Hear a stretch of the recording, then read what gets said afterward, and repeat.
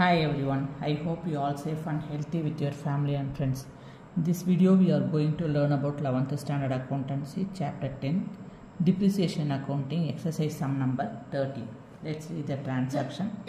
The furniture costing rupees 5000 was purchased on 1-1-2016. The installation charges being 1000 rupees. The furniture is to be depreciated at 10% per annum on the diminishing balance method past journal entries for the first two years.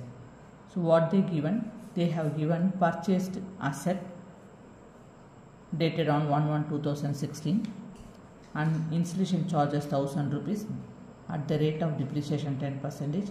We have to find the depreciation. We have to find past journal entries for the first two years on diminishing balance method. That means written down method. Okay. So the format of the journal entry is date particular CLF debit rupees credit rupees okay. So when you uh, when did you purchase machinery furniture? That means when did you purchase asset? 1 1 2016 what's the journal entry for?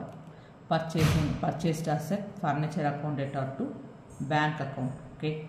6000 rupees entered bought furniture. And what's the closing accounting period? 31st to 12 every year okay? So we take 2016 on purchasing year okay? Purchasing period purchased period. What's the journal entry for the depreciation? Provided depreciation depreciation account debtor to furniture account. Listen here carefully. We have to provide uh, give the depreciation for providing depreciation at the end of the accounting period okay what's the period for the depreciation accounting period? At the end of the accounting period.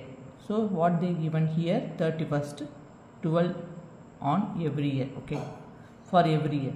So we have to calculate 31st december 2016 first year okay?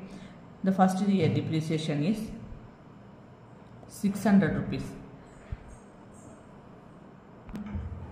what's the percentage of depreciation? 10 percentage so we have to calculate 10 percent depreciation with original value that is 0 0 cancel 0 0 cancelled 600 rupees this is the first year depreciation what we written here okay?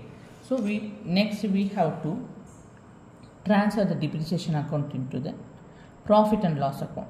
We have to take the same period 31st December 2016 for first year depreciation okay so to transfer the depreciation into profit and loss account, what's the entry? Profit and loss account at 600 rupees to depreciation account 600. So listen here, where is depreciation? Here it is on debited. Now when we transfer it to profit and loss account, the depreciation account is to be credited. Okay. Okay. Let's take the second year depreciation journal entry dated on 31st December 2017. Depreciation account data to furniture account depreciation provided. How much rupees? 6, uh, 540 rupees. Listen, for first year depreciation we have to subtract first year depreciation 600 rupees from the original cost we will get 5400. So we have calculated diminishing method, written down method okay. So we have to take after depreciation value okay that is 5400 so we have to find the second year depreciation from this value at the rate of 10 percentage depreciation value. 0 0 cancel 0 0 cancel. How much rupees? 540 rupees. So this is the second year depreciation what we get. Okay now we have to transfer the depreciation into the profit and loss account on the same date. Okay so profit and loss account data to depreciation account 540 rupees 540 rupees depreciation account is transferred into the profit and loss account. Do you have any doubt? Please comment it on the comment box. Thank you. Take care.